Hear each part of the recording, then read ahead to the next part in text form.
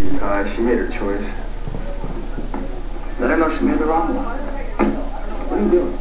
Ty, don't. Ty, don't, Ty.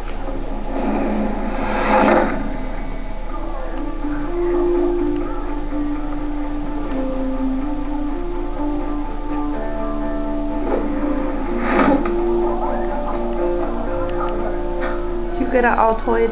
Come here. After all, what was insane? I didn't know you played football. I used to. It's a long time ago. So why don't you care for the team? Yeah, I don't think so. So you don't like football? No, I love football. I think it's a great sport. But in this case, I don't think football likes me. You saw Tyler over there. We both know how Matt feels. They don't know you. So then you're a mysterious loner guy. Wouldn't hurt to be part of.